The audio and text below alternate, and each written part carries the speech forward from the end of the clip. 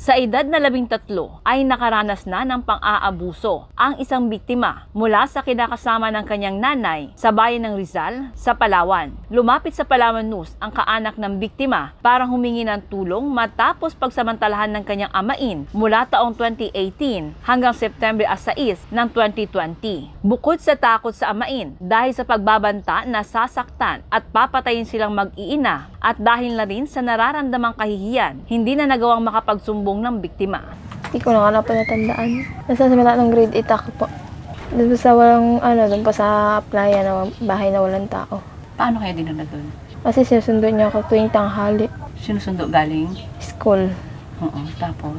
Kasi nadala niya po ako doon sa may bahay na walang tao. Yun yung pinakauna-unang beses.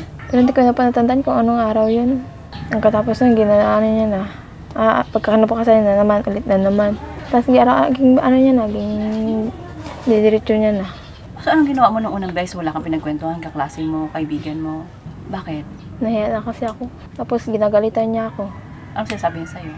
Ay, sakta niya daw, pati yung magulang ko, pati ako, patayin niya.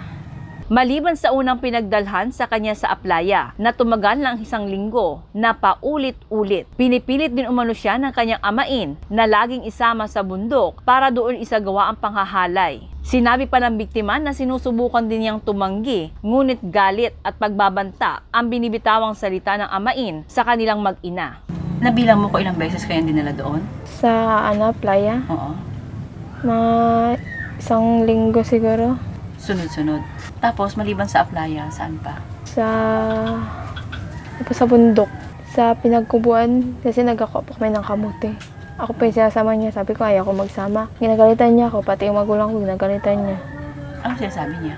Sabi niya, pag hindi daw, siya pag hindi daw ako nagsama, patayin niya daw.